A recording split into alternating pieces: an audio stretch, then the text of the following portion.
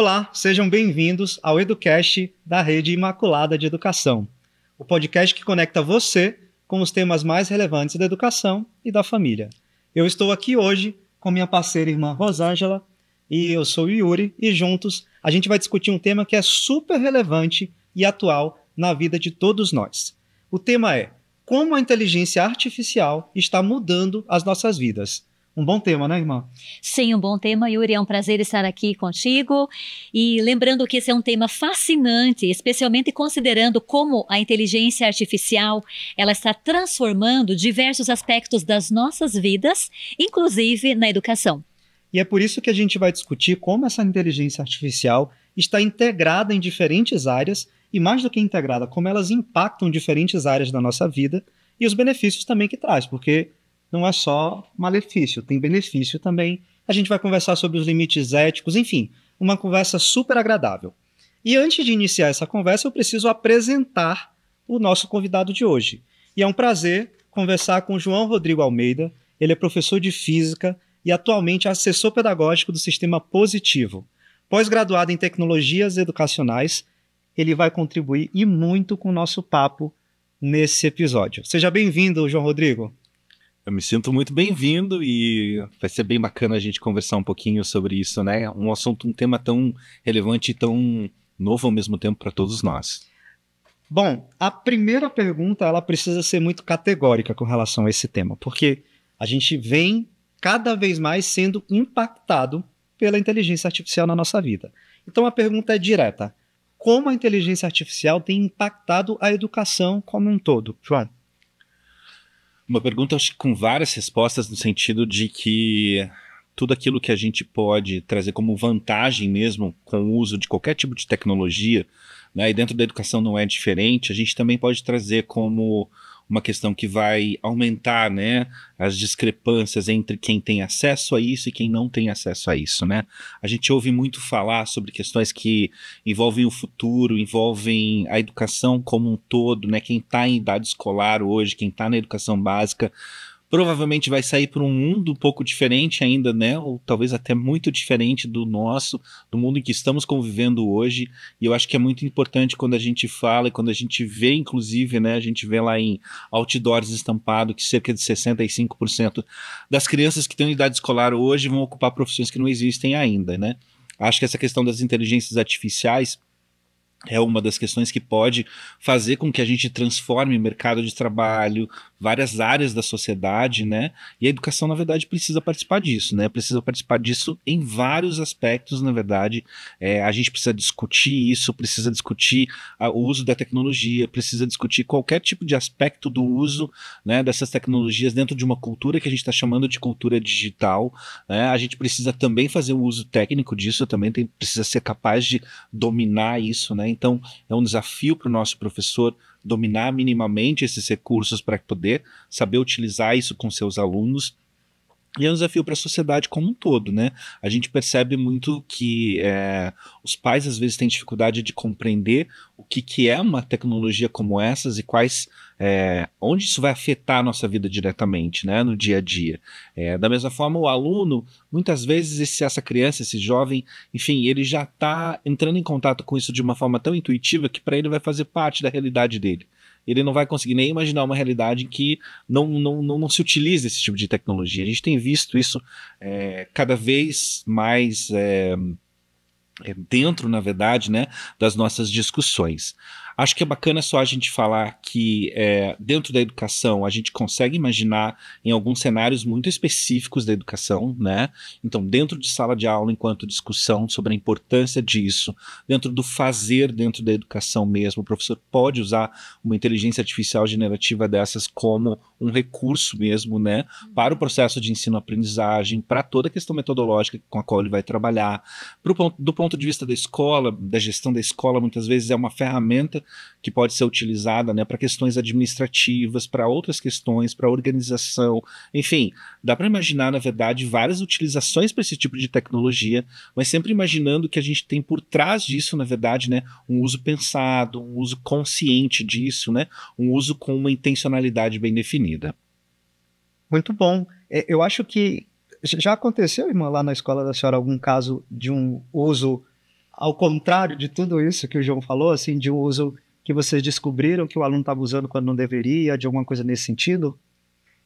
Não estou lembrada se exatamente desta forma, mas questionou o seu uso pelo fato de que, por exemplo, em produção de texto, é, o aluno, ele tem já as palavras-chave que ele usa como todos nós, né? Na medida em que a gente vai escrevendo, a gente tem a nossa individualidade e a gente acaba demonstrando isso nas nossas produções.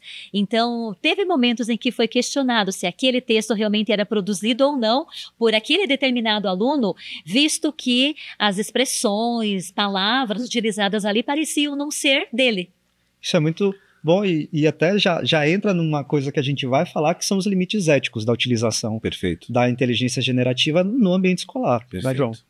É, essas questões autorais, na verdade, né, são bem complexas, mas acho que dentro do ambiente de sala de aula, essa questão da produção de texto, por exemplo, que é uma das primeiras que vem né, à tona quando a gente está discutindo a utilização de uma ferramenta como um desses prompts mesmo de inteligência artificial generativa, como o ChatGPT e etc., tantos outros que têm surgido, é, eu acho que é uma oportunidade, muitas vezes, para o professor explorar isso com seus alunos, né? Então, há pouco tempo atrás, a gente estava trabalhando com a formação de professores e houve o caso de uma colega professora de língua inglesa empresa que me procurou e falou assim: João, é, o meu uma vez pedi uma produção textual né, para o aluno há pouco tempo atrás e o aluno me trouxe um texto shakespeariano, ou seja, com inglês e um vocabulário que não era dele, na verdade, né? E eu percebi na hora que, claro, que ele tinha usado algum tipo de ferramenta ou recurso para produzir aquele tipo de texto. E às vezes o professor vem com essa, vem com, vem, até com uma espécie de mágoa mesmo, né? Com uma questão meio ressentida em relação ao uso desse, desse tipo de tecnologia. E eu lembro que falei para a professora, professora, você perdeu uma oportunidade de sentar com seus alunos, na verdade, e explorar né, essas questões de estilo, de como é que um, um, como é que um garoto, né? Como é que um aluno no século XXI hoje produziria um texto em inglês morando no Brasil. Isso seria diferente de um, de um, de um garoto morando num país de língua inglesa, por exemplo. Enfim, dá para explorar muito dessas coisas, na verdade, é, usando esse tipo de ferramenta. Claro que se a gente não controla, se a gente não determina como as coisas podem ser feitas, eu diria mais, né? Eu diria que a gente precisa fazer um, uma construção para o uso consciente de qualquer tipo de tecnologia em sala de aula, né? Já tive várias, várias experiências algum tempo atrás. É, relacionadas a essa questão da tecnologia digital, é uma questão que está até hoje, né, o tempo todo dentro da escola, né, irmã? Essa questão de utilizar o smartphone, o aparelho celular, esse tipo de coisa, né? Eu sei que não é fácil. Os professores que estão nos ouvindo, né, vão concordar que não é fácil. Os pais muitas vezes não param para refletir sobre isso, então vamos dizer, pais, isso não é fácil, né?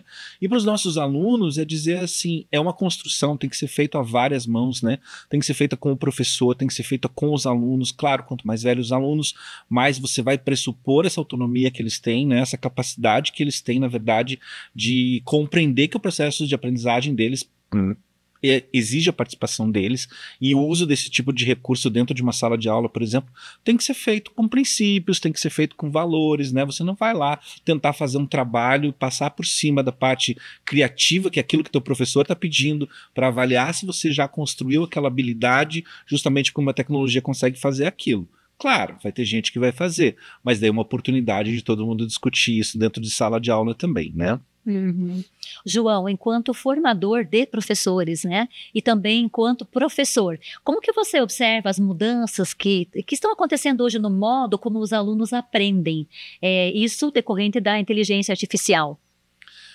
É boa pergunta, irmã. Eu acho que hoje, tanto inteligência artificial quanto, enfim, todas as ferramentas tecnológicas, né, todo esse mundo digital, essa cultura digital que a gente tem, promove muitas mudanças e o que me preocupa um pouco é que às vezes o ambiente da escola fica um pouquinho fora disso, né? Uhum. Como eu disse, né? Quando a gente proíbe, quando a gente, enfim, e claro que a gente também tem que ter recursos, também tem que ter é, questões práticas mesmo dentro de sala de aula, mas quando a gente tem uma certa incapacidade para lidar com tudo isso, a gente acaba deixando isso por conta do, né, da vida fora da escola que esse aluno, que essa criança, que esse jovem tem. Então muitas vezes ele vai procurar lá uma rede social de vídeos, é lá que ele vai procurar coisas para estudar, e muitas vezes aquilo não está conversando com o professor dele, que poderia estar tá mediando isso, que poderia estar tá explorando isso ainda de uma forma melhor. Eu acredito que num futuro próximo a gente vai ter uma geração de professores aí super antenado com isso, né? Super antenados, na verdade, com isso, e que seja capaz de adaptar mesmo, de trazer esse caráter único mesmo que a aprendizagem tem para cada aluno, sabe? Eu acho que ferramentas como essa proporcionam isso, né? Então tem gente que vai aprender muito mais visualmente, tem gente que vai aprender muito mais ouvindo, tem gente que vai aprender muito mais praticando, enfim, né? A gente tem vários, várias etapas ali, né? A gente tem o construir, o sistematizar, o aplicar o conhecimento dentro desse processo de ensino e aprendizagem, né? E quando a gente consegue é, fazer com que o aluno tenha recursos, na verdade, para aprender aquilo da forma uhum. como for melhor a ele, né? Tem um estudo que é muito, ele é muito Hoje em dia eles questionam um pouco, na verdade, porque ele é bem datado, na verdade, mas vocês certamente já ouviram falar que é a pirâmide de Glasser, né, do William Glasser. Então ele falava lá que no topo da pirâmide as pessoas aprendiam cerca de 3% é, lendo, né? Uhum. Depois ele ia aumentando essa pirâmide, lá embaixo ele dizia que as pessoas aprendem muito mais quando elas são capazes de é, ler, ouvir, discutir e ensinar os outros, né? Usando então, os cinco sentidos, né? Perfeito. Porque na verdade, às vezes acaba acontecendo que o professor prioriza um deles é aquilo que é mais Perfeito. fácil ou que com que ele tem mais eh, disponibilidade para lidar, porque todos nós temos, né, uma escolha. A gente faz uma escolha por um modo.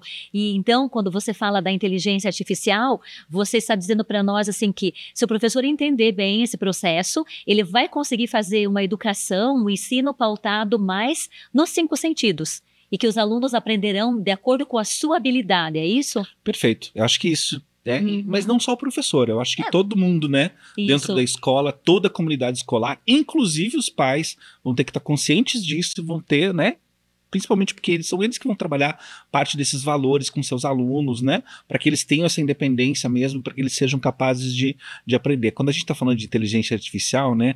Muitas vezes a gente vai lá para aquelas questões da ficção científica, tem muita coisa, uhum. né? Que é 10, 15, 20 anos atrás a gente diria ser ficção científica. Tem um escritor de ficção científica que é o Isaac Asimov, muito famoso, ele era um cientista, inclusive, do começo do século 20, escreveu mais de 300 obras, muito prolífico também.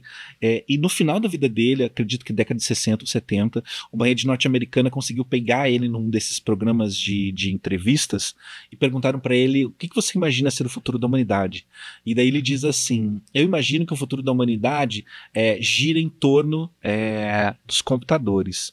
E daí ele diz assim: talvez um dia a gente tenha computadores do tamanho de uma sala dentro de casa, mas cada casa vai ter um computador desses e a gente vai ter acesso ao conhecimento do mundo inteiro. Ele foi ingênuo, né? Porque ele não imaginava que hoje esse computador está onde? Está dentro do nosso bolso, né?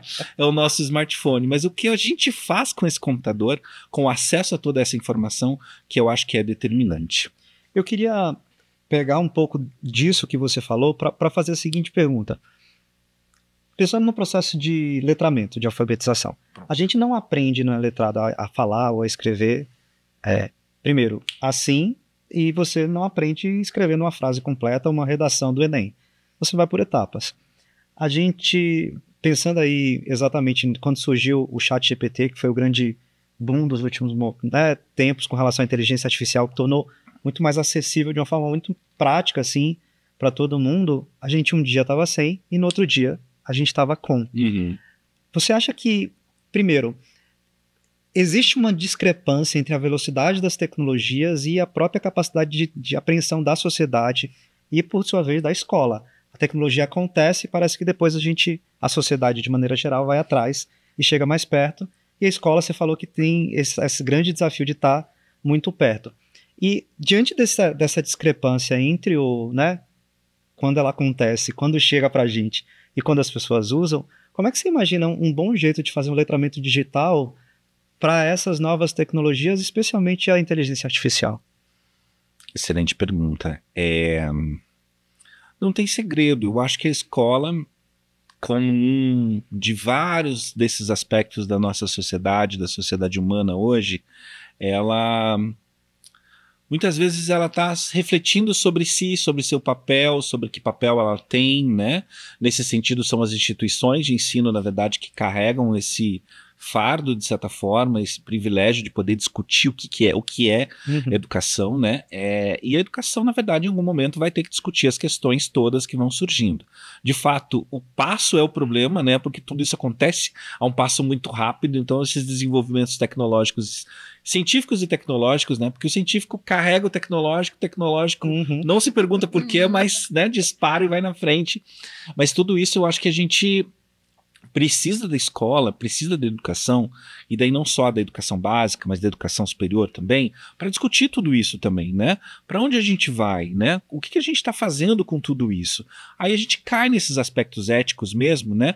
Que tem que ser discutidos, porque uma coisa é a ferramenta que você tem. Ah, com essa ferramenta, o martelo, o alicate, eu posso fazer N coisas, né? Agora, o que, que eu vou fazer efetivamente? O bom uso dessas. Exatamente, né? Você pegar um alicate e sair cutucando todo mundo com o alicate, tu fazendo bom uso do alicate? Você pode usar o martelo para bater um prego ou o dedo. Ou o dedo, né? Que a ferramenta em si ela não é ruim e nem boa. Perfeito, exatamente. Então eu acho que quando a gente traz ferramentas que desafiam um pouco o nosso jeito de fazer, e aí tem uma brincadeira que a gente sempre faz dentro da escola, né? É, que é de brincar, né? Então, é, perdão, de brincar com a seguinte ideia. É, a escola parece estar no século XIX, às vezes, né? Porque ela tem um desenho um pouquinho de século XIX, né? Carteirinhas alinhadinhas ali. É, já o professor, muitas vezes, ele tem aquela cabeça do século XX. Eu sou um professor do século XX, não tenho como negar isso, né? O problema é que o nosso aluno está no século XXI. Então a gente tem sempre esse gap mesmo, tem a, a escola tentando chegar, né? Na verdade, a tecnologia vem, atropela toda a sociedade, mas a escola está tentando chegar ali perto, né? Para poder conversar, para poder dialogar mesmo é, mais efetivamente. Para responder mais objetivamente, né, a tua pergunta de como é que a gente pode trabalhar com isso, com aspectos da alfabetização, aí a gente tem que deixar claro, né, acredito para os ouvintes, né, para quem está assistindo a gente, o que é alfabetização, o que é letramento, né, o que, o que esses termos significam, né, É, em termos da alfabetização na nossa língua materna, né, na, no- na língua portuguesa, né, que é aquilo que a gente vai trabalhar de uma forma tão legal, de uma forma quase sagrada mesmo, ao longo ali, né, do desenvolvimento da infância dessa criança, desse jovem, enfim, desse, desse aluno que eu tenho, é, eu acredito que essas ferramentas possam ajudar sim, tá?